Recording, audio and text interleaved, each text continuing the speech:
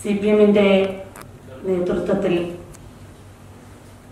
സ്ത്രീ പീഡന പരമ്പരകളിലൂടെ കേരളം മുന്നോട്ട് പോകുന്നതിനുള്ള ദുഃഖവും നടുക്കവും രേഖപ്പെടുത്താനും അതിനെതിരെ അതിശക്തമായ സമരപരിപാടികൾ ആവിഷ്കരിക്കും എന്ന് പറയുവാനുമാണ്. ഏറ്റവും ഒടുവിൽ നമ്മൾ കണ്ടു. ഇടതുപക്ഷത്തിന്റെ യുവജന പ്രവർത്തകയായ യുവതിയെ പാലക്കാട്ട് പാർട്ടി ഓഫീസിൽ വച്ച് പീഡിപ്പിച്ചു എന്ന പരാതി നൽകിയിരിക്കുന്നു. ചെറുപ്പുളശ്ശേരിയിലാണ് സംഭവം. കഴിഞ്ഞ ദിവസം നവജാത ശിശുവിനെ കണ്ട് അന്വേഷണം നടത്തിയപ്പോഴാണ് സി പി എമ്മിന്റെ യുവജന പ്രവർത്തകയായ പെൺകുട്ടിക്ക് പാർട്ടി ഓഫീസിൽ വെച്ച് പീഡനത്തിന് ഇരക ഇരയാകേണ്ടി വന്നതിന്റെ ഫലമാണ് ആ കുഞ്ഞ് എന്ന് മനസ്സിലാക്കാൻ കഴിഞ്ഞത്.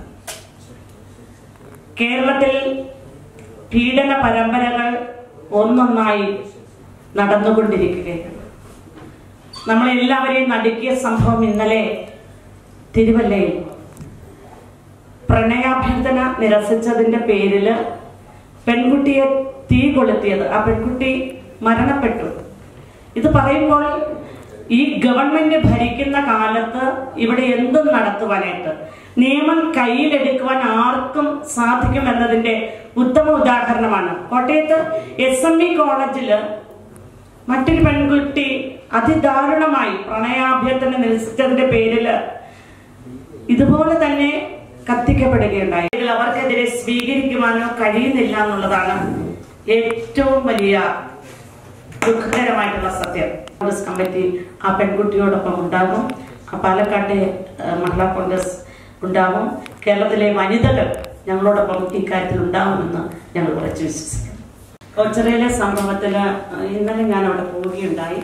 ഇന്ന് മഹിളാ കോൺഗ്രസിന്റെ കൊല്ലം ജില്ലാ കമ്മിറ്റി പ്രതികളെ പിടിച്ചില്ല എങ്കിൽ പോലീസ് സ്റ്റേഷൻ മാർച്ച് വെക്കുമെന്ന്. ഇന്നലെ തന്നെ അറിയിച്ചിട്ടുള്ളതാണ്. ഇന്നലെ പോലീസ് സ്റ്റേഷനിൽ പോകാനായിട്ട് കഴിഞ്ഞിരുന്നു. എസ് ഐയോട് വിവരം പറഞ്ഞു. ഇന്നലെ ഞങ്ങൾ ചെന്ന സമയത്ത് രണ്ട് പ്രതികളെ പിടിച്ചു എന്നാണ് അറിയാൻ കഴിഞ്ഞത്. ഇന്നിപ്പോ കൂടുതൽ പ്രതികളെ പിടിച്ചു. പക്ഷെ മുഖ്യ പ്രതിയെ ഇതുവരെ പിടിച്ചിട്ടില്ല. ഒന്ന് ആലോചിച്ച് നോക്കി. ഇന്നിപ്പോ ഈ വിഷയം. കേരളത്തിൽ ഒരു തെരഞ്ഞെടുപ്പ് വന്നു നിൽക്കുമ്പോൾ സ്ത്രീ പീഡന പരമ്പരകൾ തന്നെ നവകേരള സൃഷ്ടി എന്ന് ആവർത്തിച്ച് പറയുമ്പോഴും സ്ത്രീ പീഡന പരമ്പര പരമ്പരകളിലൂടെയാണ് ഈ കേരളം എന്ന് ഉള്ളത് വളരെ വ്യക്തമായി പറയുന്നതിന് വേണ്ടിയിട്ടാണ്. ഞങ്ങളെ സംബന്ധിച്ച് മറ്റ് കാര്യങ്ങളിൽ മൂന്ന് സീറ്റ് ആവശ്യപ്പെട്ട് രണ്ട് സീറ്റ് കിട്ടി. രണ്ട് വനിതകൾ വിജയിച്ച് ഇന്ത്യൻ പാർലമെന്റിലെത്തും. ഒരു സംശയം വേണ്ട.